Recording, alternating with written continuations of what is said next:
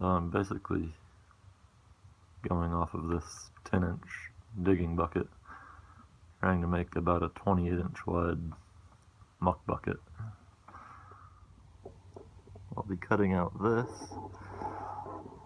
with the Powermax 30 Hypo Hypertherm. My buddy Fred was nice enough to loan to me. Thanks, Fred.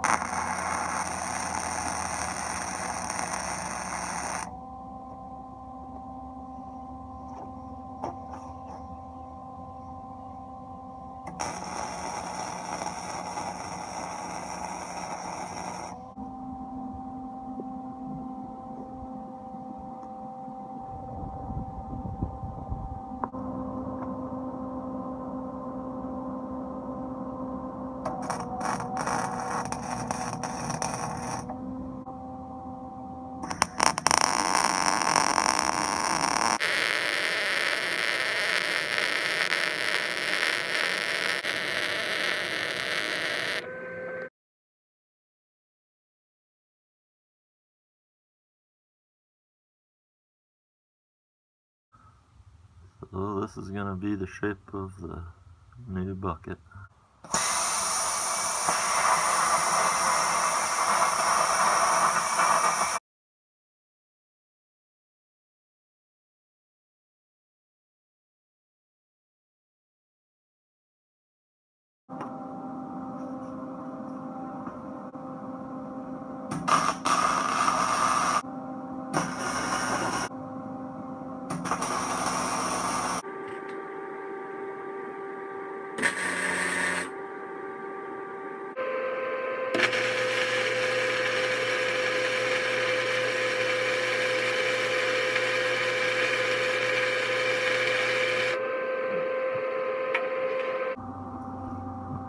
I've cut these at an angle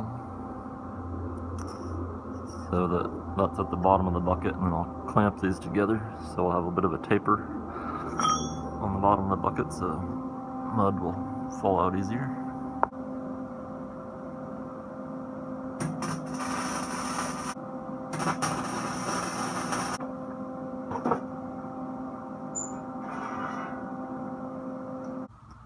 Well, it's starting to resemble a bucket.